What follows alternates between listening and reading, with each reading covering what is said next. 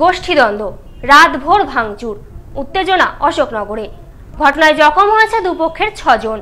এলাকায় উত্তেজনা থাকায় বসানো হয়েছে পুলিশি ব্রিগেড তৃণমূলের দুই গোষ্ঠীর বিবাদ, ঘটনায় উত্তপ্ত অশোকনগর শ্রীকৃষ্ণপুর গ্রাম পঞ্চায়েতের গিলাপোল এলাকা। দফায় দফায় হামলা, একাধিক বাড়িতে ভাঙচুর চালানোর অভিযোগ। ঘটনায় আহত দুপক্ষের ছজন। পরিস্থিতি নিয়ন্ত্রণে আনতে ঘটনাস্থলে বিশাল পুলিশ বাহিনী। এলাকায় উত্তেজনা থাকায় বসানো হয়েছে পুলিশি পিকেট। স্থানীয় সূত্রে জানা গেছে, সোমবার রাত থেকে দফায় দফায় গোষ্ঠী সংঘর্ষের ঘটনা ঘটে গিলাপোল এলাকায়।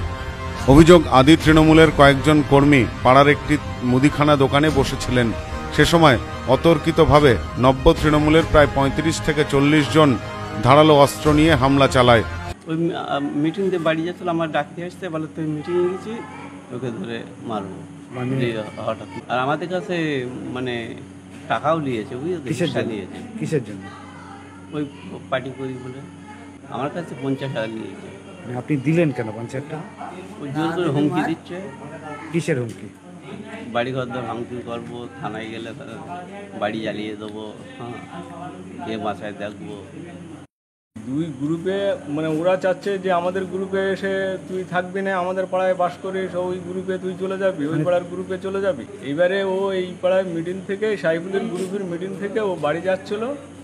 বাড়ি যাওয়ার পথে ও ধরে মার বেধড়ক মার। আর যখন তখন ওরা হুমকিনি দেয় যে আমাদের গ্রুপে থাকবি না ওই গ্রুপে থাকবি তোর হাড় ভেঙে দেবো তোর ঠ্যাং ভেঙে দেবো। এরকম মানে রাস্তাঘাটে টিটকারি মারে। পাল্টা অভিযোগ। নব্য তৃণমূলের পক্ষ থেকে একটি দলীয় মিটিং চলছিল। কেন এই মিটিং করা হয়েছে?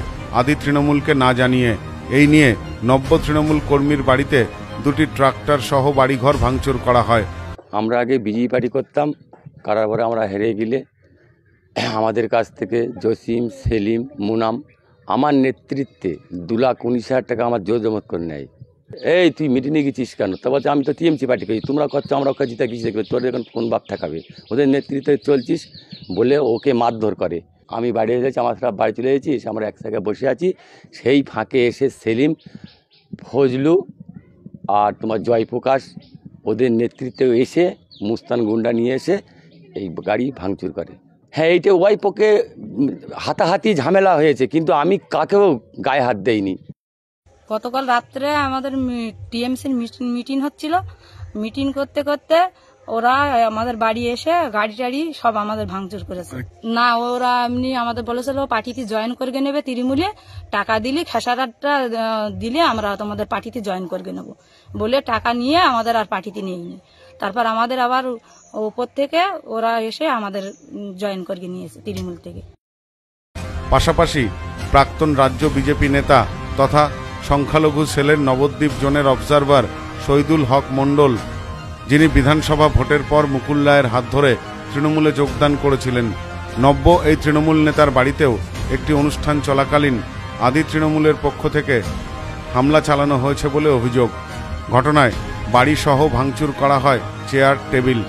পুলিশ সাড়ে এগারোটার সময় ফোন করে। ফোন করার পরে পুলিশ বলছে যে বাড়ি থেকে চলে যাও। ও বলছে, যেতে পারছে না, বাড়িতে এত লোকের অ্যারেঞ্জমেন্ট কি করবে? ও আড়াইটার দিকে এমএলএ দার খাওয়ার পরে ও বাড়ি থেকে বার হয়ে গেলে।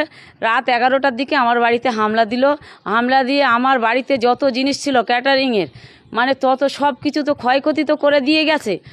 আর পিতলের জিনিসপত্র যা সব তারপরে সিলভারের জিনিস, পিতলের হাঁড়ি টাড়ি সব কিছু নিয়ে চলে গেছে। দুই পক্ষ তৃণমূল বলতে আমরা অরিজিনাল তৃণমূল করি। আগাগোড়ায় তৃণমূল করি। ওরা টিএমসিতে জয়েন হয়েছে কিছুদিন আগে। মাসখানি হচ্ছে। হয়ে শহীদুলের নেতৃত্বে আমাদের কিছু ছেলে বসানোর জন্য এই কাজটা করে ওরা। স্থানীয় তৃণমূলের একাংশের অভিযোগ, বিজেপি থেকে পয়সার বিনিময়ে স্থানীয় তৃণমূল নেতৃত্বের একাংশ তৃণমূলে যোগদান করাচ্ছে। সোমবার রাতের পর থেকে থমথমে এলাকার পরিবেশ। এ বিষয়ে স্থানীয় পঞ্চায়েতের উপপ্রধানের দাবি, গোষ্ঠী কোন্দল বলে কিছু নেই। কিছুটা ভুল বোঝাবুঝির জন্যেই এই ঘটনা। তবে পুলিশ ও আমরা দলীয়ভাবে এলাকায় শান্তি বজায় রাখার জন্যে আবেদন করেছি। প্রধান উপপ্রধানের লবি বলে এখানে কিছু নেই। আমরা দলটা একটাই করি, আমাদের নেত্রী মমতা ব্যানার্জি, আমাদের লোকাল লিডার, আমাদের বিধায়ক, আমাদের নারায়ণ গোস্বামী। দলের নির্দেশ এবং দলের অনুশাসন মেনেই আমরা দলটা করি, সব থাকি। এই মুহূর্তে গিলাফলে একটা দীর্ঘদিন ধরে একটা সমস্যা, চাপা, উত্তেজনা আছে ওখানে। কিছু দলের সমর্থক যারা, তারা অনৈতিক কাজের সঙ্গে যুক্ত। সেইগুলোকে ওখানকার কিছু যারা আমাদের দলের কর্মী আছে, যারা পুরনো কর্মী, দীর্ঘদিন নেতৃত্ব করে এসছে এখানে তাদের সঙ্গে তাদের একটা মতদ্বন্দ্ব আছে। এমনি দলীয়ভাবে কোনো মতপার্থক্য আমাদের মধ্যে নেই। Bureau report, news, no man's land, Ashoknagar.